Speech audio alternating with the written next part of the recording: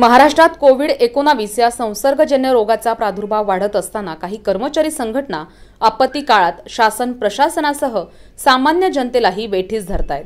रुग्णांच्या संख्येमध्ये प्रचंड प्रमाणात वाढ होत असताना आपत्कालीन परिस्थिती निर्माण झाली आहे अशा आपत्तीत सहकार्याच्या भूमिकेतून कर्तव्याला प्राधान्य अपेक्षित असताना काही कर्मचारी संघटनांनी तीस जूनपासून संप पुकारलाय.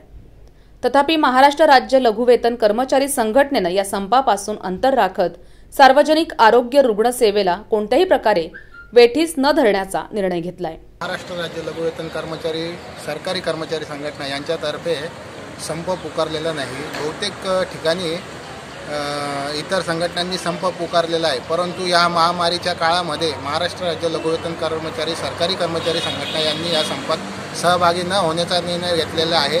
आत्ता या महामारीच्या कार्या कार्या महामारीच्या काळामध्ये प्रत्येक ठिकाणी पेशंट वगैरे चालू आहे. सिव्हिल हॉस्पिटलसुद्धा भरपूर पेशंट आहेत. तसं पत्रही अतिरिक्त जिल्हा शल्यचिकित्सक डॉक्टर निखिल सैंदाणे यांना देण्यात आलंय. हे पत्र देताना प्रवीण साळी उपाध्यक्ष चेतन धुंदे शहराध्यक्ष स्वप्नील सोनार संदीप दोंदे रॉनी लव्हेरी युवराज महाजन अनिल झोडगे राजू ससाने संजय शिंदे आदींसह कर्मचारी उपस्थित होते. जागर जनस्थानसाठी अमोल सोनवणे नाशिक.